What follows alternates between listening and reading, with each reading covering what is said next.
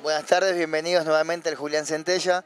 Seguimos eh, abriendo las puertas a distintas expresiones, eh, no solo artísticas, sino también solidarias. Cultural. Contanos un poquito eh, de dónde es el refugio y a qué se dedican ustedes. Hola, yo soy Celeste, soy de SOS Galgos de Zárate. Recordémosle a los vecinos cómo los pueden ayudar.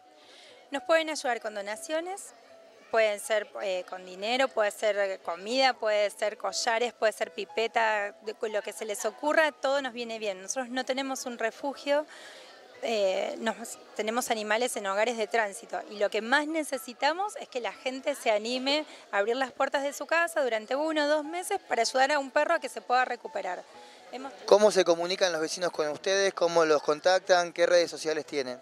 Eh, podés comunicarte por Twitter, que es eh, arroba eh, de ZC, y si no por Facebook, SOS Galgos de Zárate.